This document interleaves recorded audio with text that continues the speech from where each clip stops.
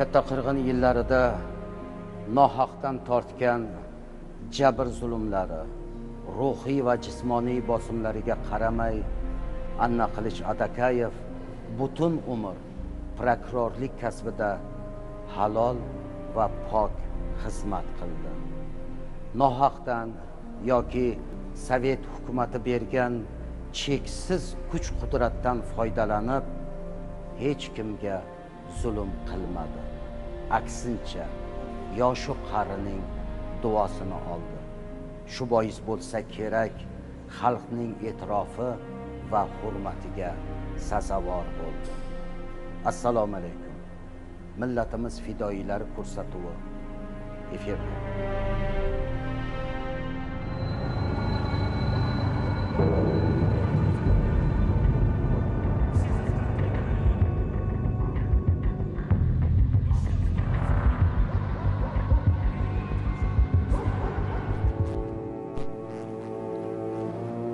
Bugungi qahramonimiz qoraqalpoq zaminida o'sib ulg'aygan huquq posboni anna qilich adakayevdir.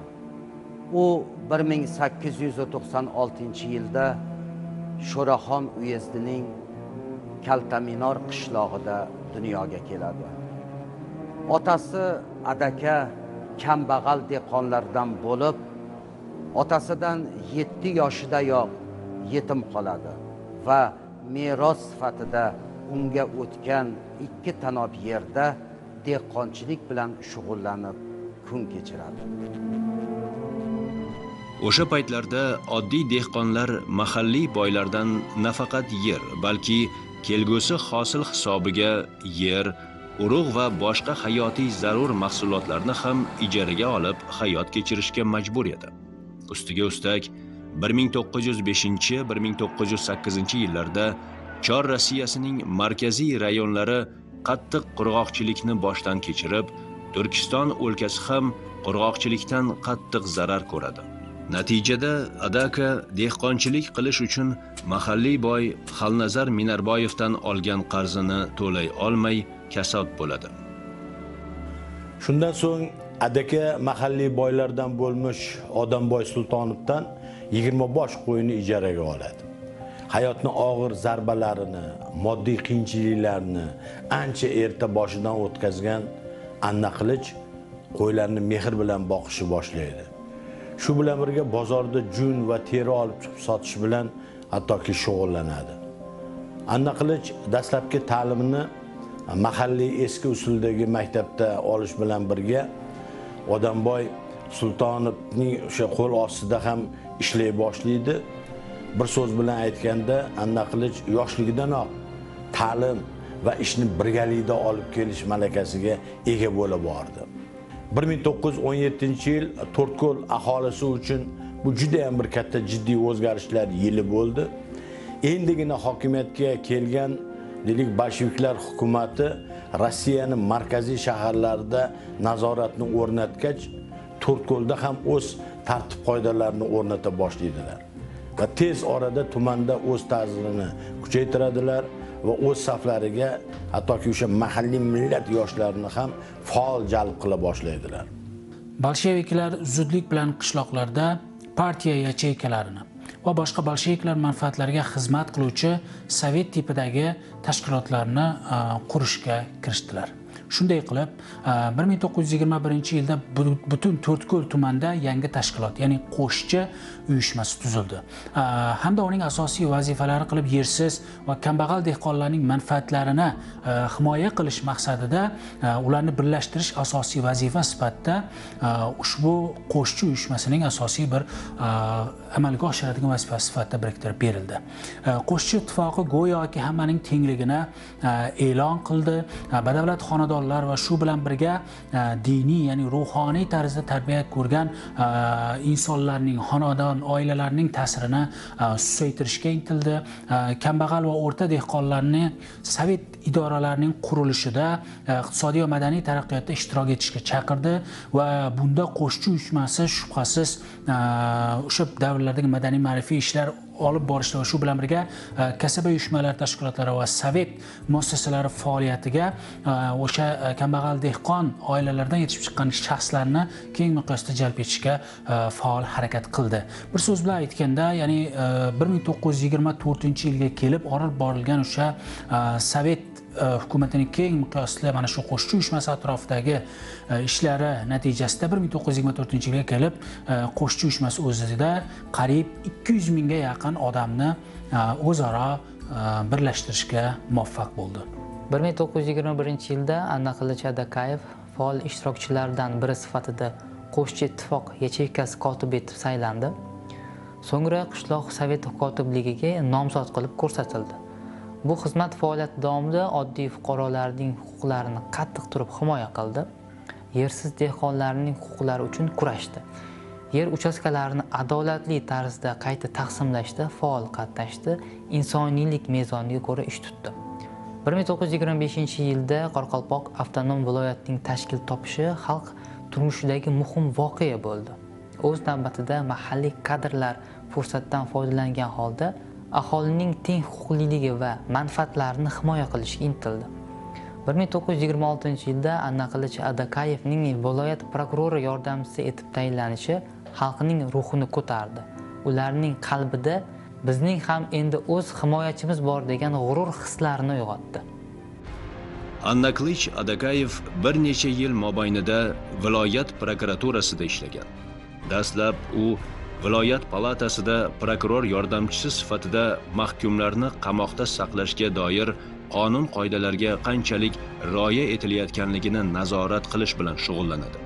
Anna klich adakayev 1927 yil aprelda qo'ng'irot tumani prokurorining shu yilning sentyabr oyidan boshlab esa to'rtko'l tuman prokurorining yordamchisi sifatida mehnat faoliyatini olib borgan. Bu yillarda anna klich adakayevning asosiy vazifasi barcha davlat organlari xo'jalik muassasalari va fuqarolar xatti harakatining qonuniyligini hamda mahalliy davlat hokimiyati qarorlari va farmoyishlarining qat'iy bajarilishini nazorat qilishdan iborat bo'lgan. bir ming to'qqiz yuz yigirma sakkizinchi yilda qoraqalpog'iston avtonom viloyatida e, o'sha rayonlashtirish amalga oshirildi.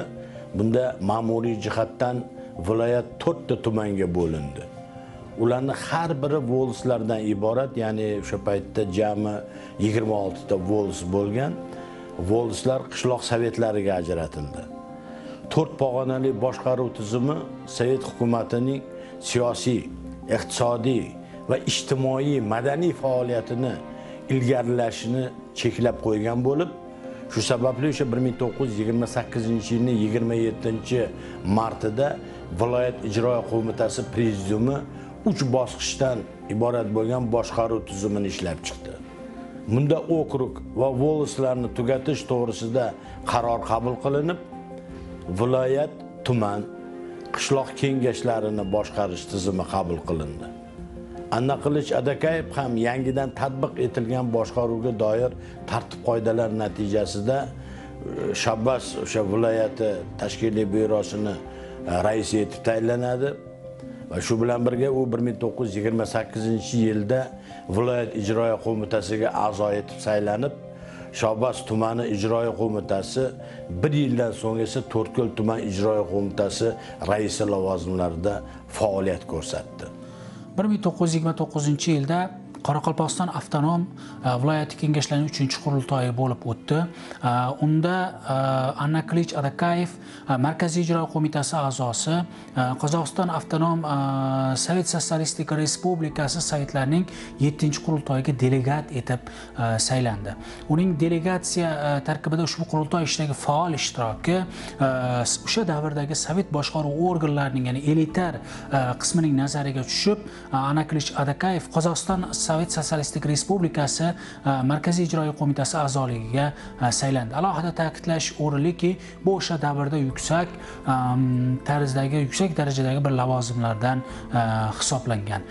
Ayni shu davrda sovet hukumati qishloqlarni sovetlashtirish shior ostida dehqonlarni tabaqalashtirish ishlarini kuchaytirdi. Lekin bu siyosat birinchi navbatda ma'muriy buyruqbozlik hamda majburlov choralariga asoslangan edi. Aholining og'ir turmush sharoiti.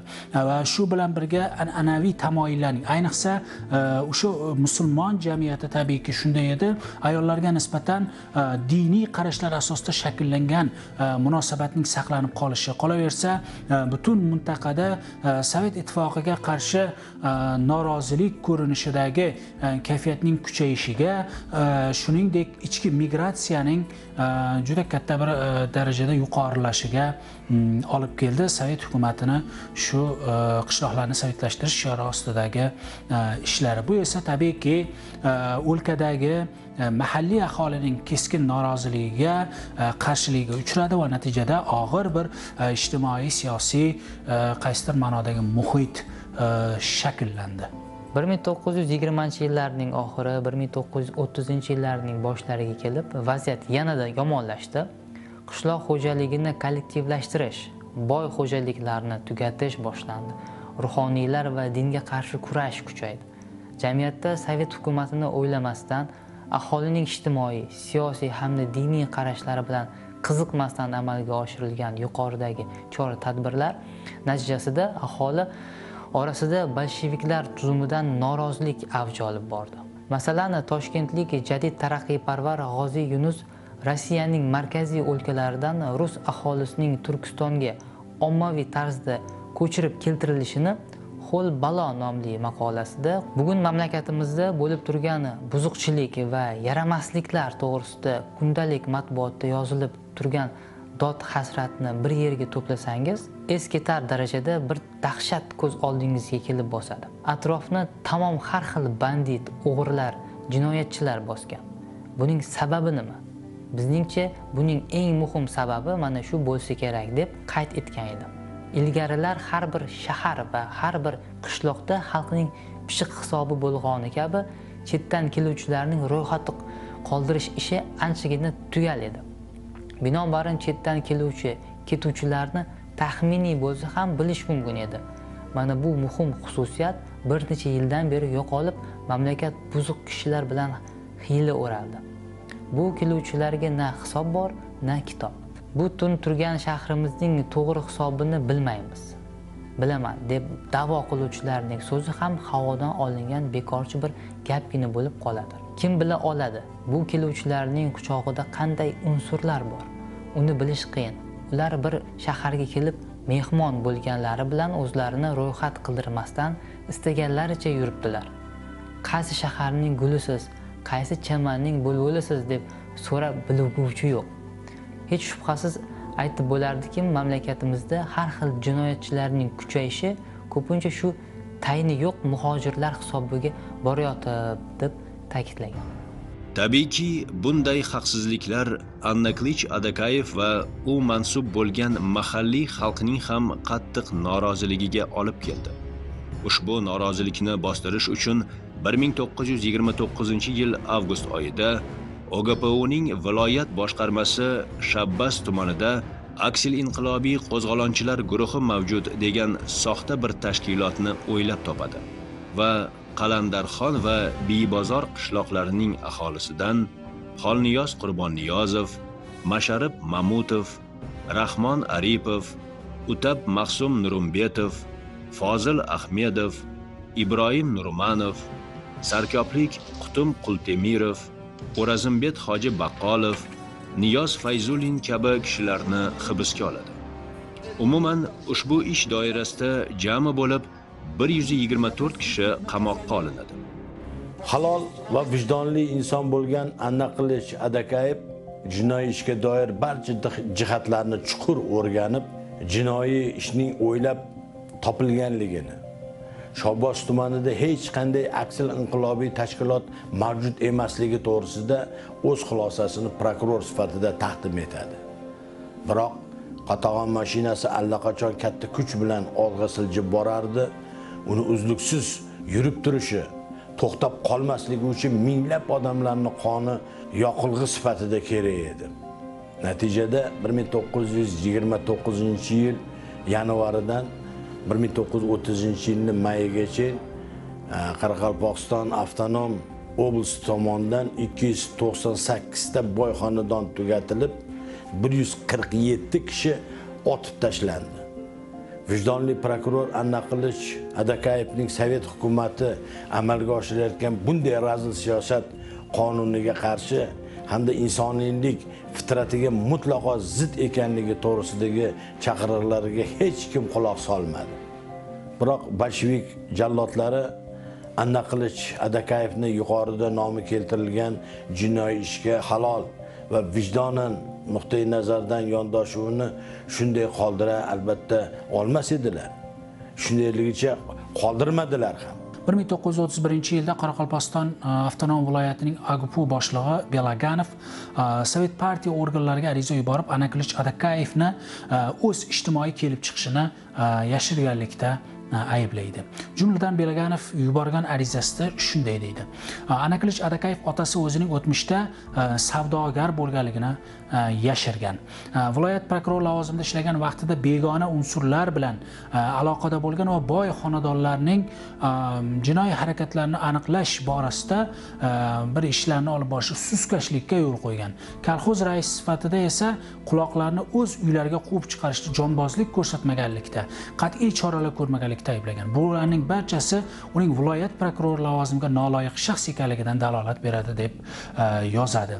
E, mana shu ayblovga agar biz diqqat bilan e'tibor beradigan bo'lsak e, sovet mana shu prokuror belaganov tomonidan keltirilgan iddaolar aslida anaklich adakayevni millatparvar mahalliy xalqqa nisbatan qayishgan bir prokuror sifatida namoyon bo'ladi. Chunki bugungi kun nuqtai nazar bilan va umuman adolat tamoyili nuqtai nazaridan qarab ko'radigan oladigan bo'lsak e, anaklich adakayev boy xonadonlarni jinoiy javobgarlikka harakatlarini aniqlash borasida jonbozlik ko'rsatmagan degan ayblov aslida ularga nisbatan qaysidir ma'noda huquqiy o'zini yordam berganligini anglatadigan bo'lsa shu bilan birga u quloq qilingan shu bechorahol bir oilalarni ham qaysidir ma'noda ijtimoiy nuqtai nazardan siyosiy va huquqiy nuqtai nazardan qo'llab quvvatlaganligini anglatadi.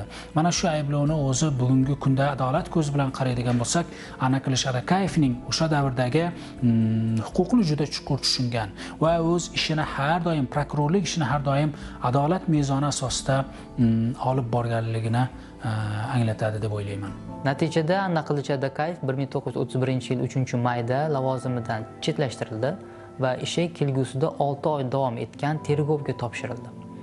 Tergov mobaynida unga partiyaviy ogohlantirishdan so'ng ham prokuratura ishida olg'a siljish kuzatilmaganlikda kambag'allar ishini ko'rib chiqishda sinfiy hushyorlikni yo'qotganlikda ijtimoiy kelib chiqishini yashirganlikda kolxozlarga odamlarni qabul qilishda sinfiy kelib chiqishga bee'tiborlik bilan qaraganlikda ayblandi va hayfsan bilan jazolandi. Umuman olganda anna qilish adakayev olti yil mobaynida prokuraturada ishlab halol va vijdonli tarzda o'z faoliyatini olib bordiki bu ogpu rahbariyatiga ham uni bir necha yil davomida ta'qib qilgan markazdagi vallomalarga ham yoqmadi. bir ming to'qqiz yuz o'ttiz uchinchi yilda unga nisbatan yana partiya jazosi qo'llanildi ammo anna qilich adakayev butun ittifoq kompartiyasi bolsheviklar markaziy qo'mitasi huzuridagi partiya nazorat qo'mitasi partiya hay'at yig'ilishida o'zining aybsiz ekanligini isbotlashga muvaffaq bo'ldi. Shundan so'ng anna klich adakayev to'rtko'l tuman sanoat korxonasida qoraqalpog'iston sssr davlat muassasalari xodimlari kasaba uyushmasi boshqaruv raisi. To'rtko'l tuman ijroiya qo'mitasi instruktori. Tuman tayyorlov qo'mitasi vakili. Yo'l bo'limi boshlig'i lavozimlarida ishladi. Shu bilan birga u turli kurslarda malaka oshirib qo'shimcha ta'lim olish bilan mashg'ul bo'ldi. Masalan 1936 yilda u e, davlat muassasalari ishchilari uyushmasining vakolatli vakili sifatida e, viloyat partiya qo'mitasi qoshidagi targ'ibotchilar kursini o'qib tamomladi.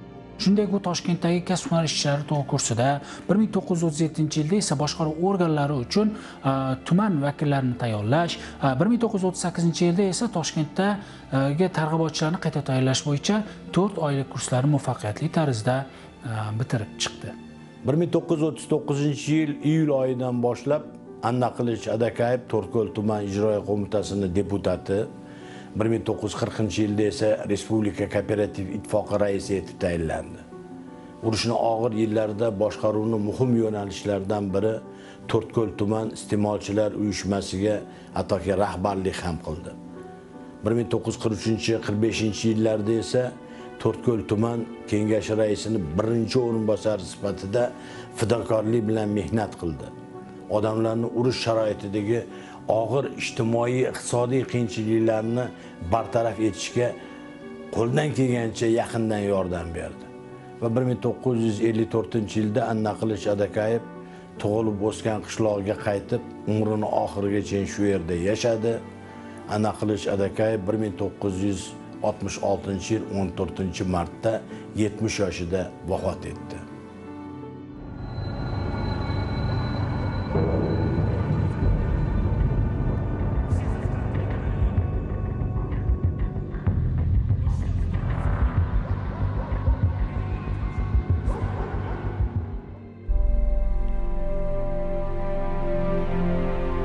anna qilich adakayevning ikki farzandi muhammad va ortiq ham otasiga o'xshab el yurtni duosini oladigan sidqi dildan xalqqa xizmat qiladigan jasur o'g'lonlar bo'lib voyaga yetdilar. Bugungi kunda ularning avlodlari bobolari naslini sharaf bilan davom ettirishmoqda.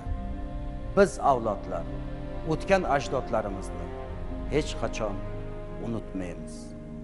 Siz millatimiz fidoyilari ko'rsatuvini tomosha qildingiz. Keyingi sonlarda uchrashguncha xayr salomat bo'ling.